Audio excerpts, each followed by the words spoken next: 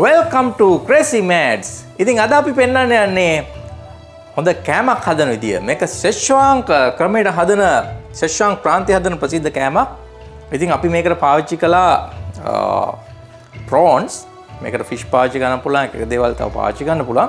ඉතින් අද අපි ඔයගලන්ට පෙන්වන්න මේ කෑම කොහොමද හදාගන්නේ කියලා හරිම රස කෑම එකක්. ඉතින් මේකට අපි කියමු පෝච් ප්‍රෝන්ස් කියලා කියමු. ඉතින් කොහොමද මේක හදාගන්න කියලා අපි බලමු දැන්. දැන් අපි බලමු මේක හදන්න අපිට අවශ්‍ය කරන අමුද්‍රව්‍ය මොනවද කියලා. සෝදාගත් ඉස්සෝ ඊළඟට ගෝවා ඊළඟට කෑලි කපාගත් වියලි මිරිස් ඊට අමතරව බිත්තර සුදු මද Szechuan pepper spring onion chop කරගත්තු ගාලික් කැමති නම් විතරක් මෙතනින් ඔයගලන්ට ගන්න පුළුවන් මේ පැල කරපු මුං ඊට පස්සේ ඔයගලන්ට ගන්න පුළුවන් බ්‍රොකොලි සෝයා සෝස් ලයිට් එක අනික් දේ තමා මේ වැදගත්ම දේ මෙතන තියෙන ඔගොල්ලන් සීසනින් කරගන්න ඉස්සෝ එක මෙතනින් අපි අරගෙන තියෙනවා ඉඟුරුයි ලීක්ස් කොලයි කලවම් කරලා ඒකට උණු වතුර දාලා හදාගත්තු මිශ්‍රණයක්. මේකෙන් තමා මේ ඉස්සෝ එකේ රස ගන්න බලාපොරොත්තු වෙන්නේ. දැන් මේන් ඉන්ග්‍රීඩියන්ස් ටිකට අමතරව තව වැදගත්ම එකක් තමා මෙන්න මේ පේස්ට් එක.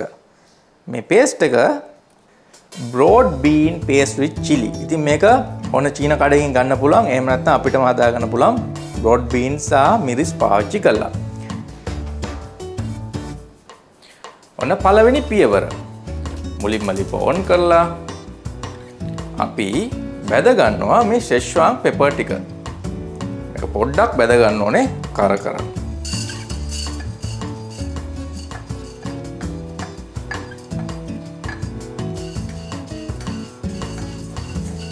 දැන් බැදගත්තු සෙස්වාන් පෙපර් ටික දාගන්නවා අපේ ගල්වන් ගෙඩියට. ගල්වන් ගෙඩියට දාපු ෂෙස්වාන් ටික යාන්තම් කුඩු කරගන්න ඕනේ.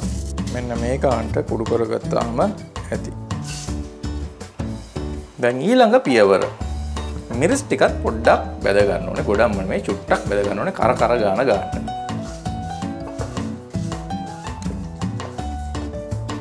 මේකත් ටිකක් කුඩු කරගන්න ඕනේ. කෑලි කැඩෙන්න. දැන් අපි බලමු මැරිනේෂන් එක කරගන්න විදිය. මුලින්ම ඉස්සෝ ටික දාගත්ත භාජනයට. ඊළඟට දාගන්න ඕනේ බිත්තර සුදු මදයක්.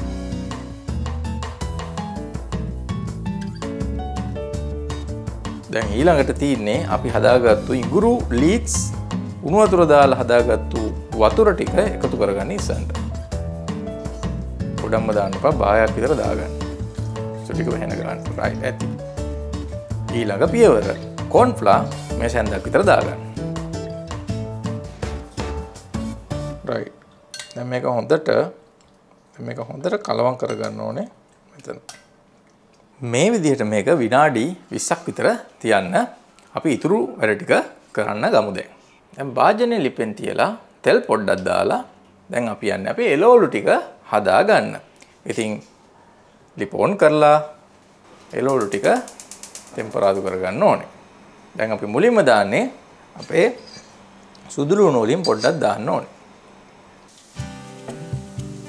දැන් සුදු ලුණු එක බැදීගෙන එනකොටම අපි දාන්නේ මොනවද? අපි දානවා බ්‍රොකොලි ටිකක්. මම මතක තියාගන්න ගොඩක් කළා තම්බන්නේ නැහැ.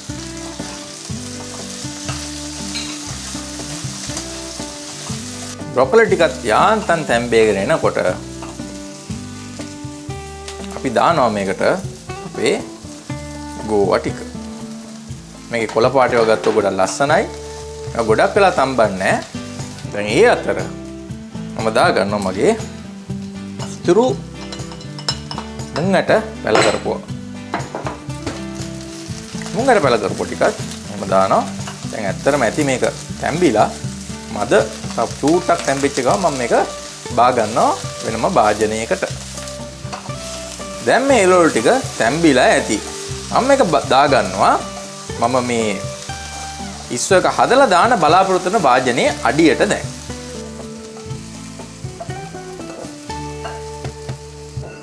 මෙන්න මේ විදිහට වාජනයේ අඩියට ලස්සනට මේ ටික දාගන්න ඕනේ.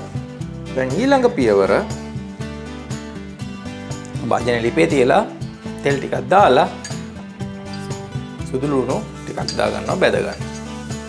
එක මද රස්නින් කරන්න ඕනේ ඇතම් සුදුලුණු ටික පිච්චිලා යනවා. සුදුලුණු ටික බාගට රත්වයගෙන එනකොටම අපි ගන්න ඕනේ අපේ මෙන්න මේ පේස්ට් එක. මේ බ්‍රෝඩ් බීන් පේස්ට් එක අපි ගන්න ඕනේ. මේක අරගෙන විදාගන්නවා මේකින් ටිකක්. මේක තමා ඇත්තරම මෙතන තියෙන රහස. රසේ රහස.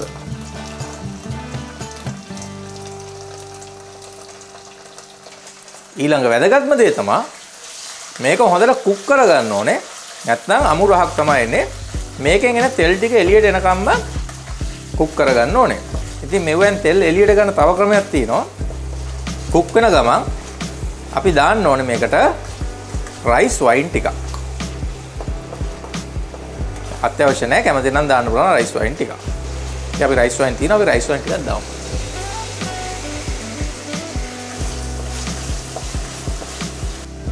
දැන් ඔයගලන්ට පේනවා ඇති මේ පේස්ට් එකෙන් රතු පාටට ඒකේ තෙල් එක එනවා.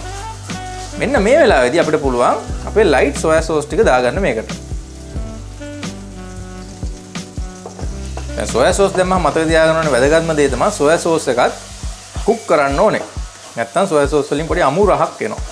දැන් හොඳට සොයා සෝස් එකත් කුක් කරන්න. දැන් මේක පොඩ්ඩක් හොඳට කුක් වෙලා තියෙන්නේ. ඔයගොල්ලන් පේනවාදී රතු පාට තෙල් ඇවිල්ලා තියෙනවා.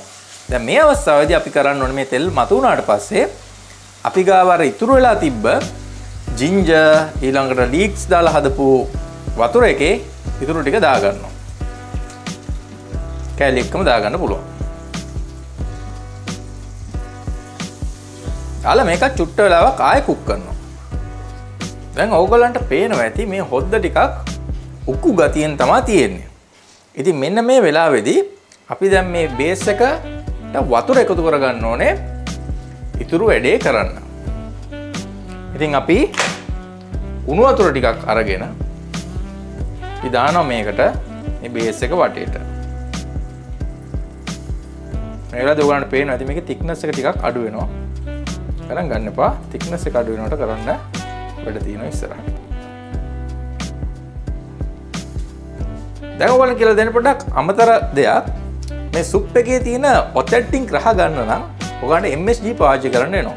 MSG නැත්නම් ඔයගොල්ලන්ට පාවිච්චි කරන්න පුළුවන් chicken stock powder. ඉතින් මේ දෙකම අත්‍යවශ්‍ය නැහැ. හැබැයි ඔයගොල්ලන්ට රහස ගන්න ඕන නම් chicken stock powder ටිකක් එකතු කරගන්න. දැන් සුප් බේස් එක බොයිල් වෙගෙන එන්නේ මෙන්න මේ වෙලාදී අපි එකතු කරගන්න ඕනේ අපේ ඉස්සෝ ටික. හැබැයි මතක තියාගන්න ඉස්සෝ ටක් ගාලා දාලා ගන්න ඕනේ ගොඩක් වෙලා බොයිල් කරන්නේ නැහැ. පරිම විනාඩියක් වගේ තමා තියන්නේ.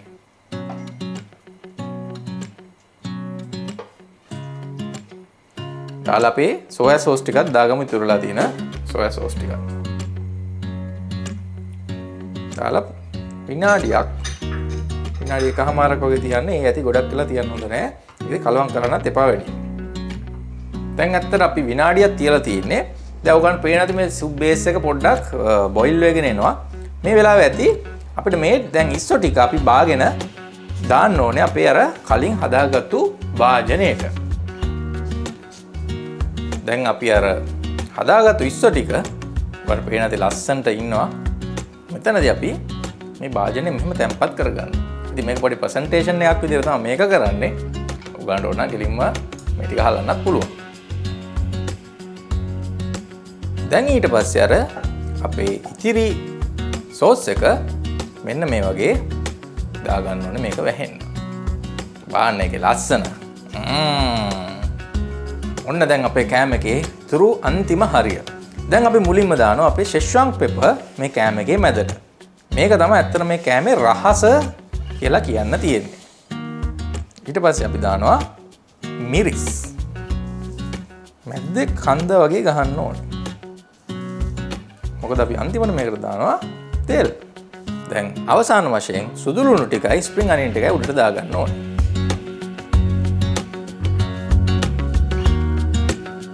දැන් අපේ වැඩේ අවසාන පියවර. ඒ කියන්නේ මේකට තෙල් දාන එක.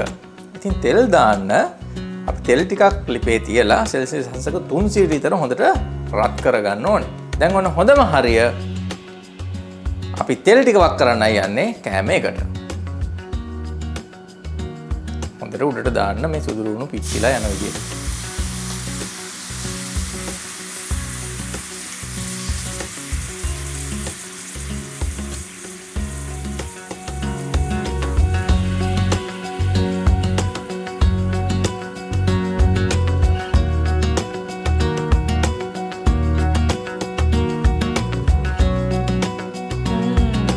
රස්ත නියමයි. ඔගොලොත් ට්‍රයි කරල බලන්න. ඉතින් මේ වගේ රසවත් කෑම හදන විදී එහෙම යන හැටි තව ගොඩක් දෙවල් බලාගන්න ඕනම් ඕගොල අපේ චනල් එක සබස්ක්‍රයිබ් කරන්න. ක්‍රේසි මෑට්ස් එනම් ඊළඟ විඩියෝගෙන් හම්බෙනකං රැඳි සිටින අප සමඟ ඔගොල හදායන කාල බලන්න මේ වගේ කෑම එකක්. බයි බයි